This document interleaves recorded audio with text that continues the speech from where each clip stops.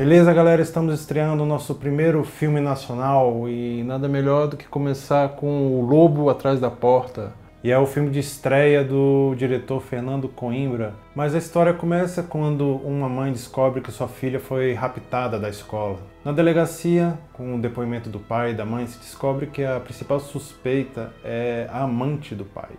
O presente do filme praticamente se passa na delegacia, é, enquanto vai tendo um interrogatório da amante, do marido e da esposa, a gente vai tendo aqueles flashbacks, a história vai voltando, vai contando a história que a gente não sabe ainda como que essa criança foi sequestrada e onde que ela está, né?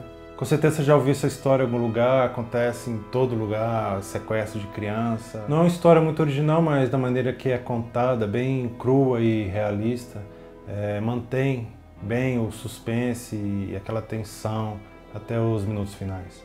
Os três atores estão ótimos, mas é a Leandra Leal que traz toda a dramaticidade para o filme. Ela está perfeita e merecedora de todos os prêmios em festivais de cinema que participar com esse filme. Fazia tempo que eu não vi um filme nacional tão bem construído e sem aqueles exageros de sexo e violência que a gente está tão acostumado a ver nos filmes nacionais. Né?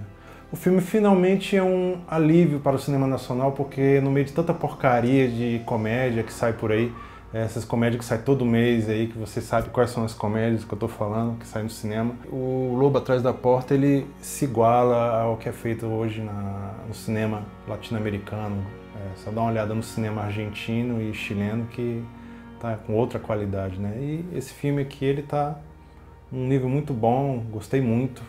Lógico que tem ótimos filmes que não entram no circuito nacional de, de cinema, são filmes que passam só em festivais, é, que talvez eu e você nem ouviu falar, filmes de, difícil acesso.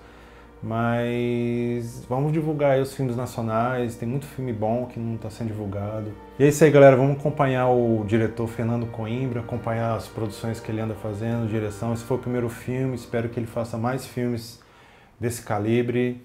E até amanhã. Valeu!